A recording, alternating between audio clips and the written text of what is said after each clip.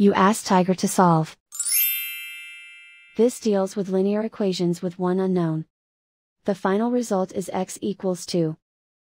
Let's solve it step by step. Group all x terms on the left side of the equation.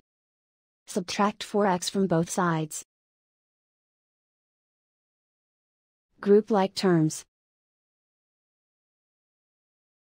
Simplify the arithmetic. Group like terms. Simplify the arithmetic. Group all constants on the right side of the equation. Add 3 to both sides. Simplify the arithmetic.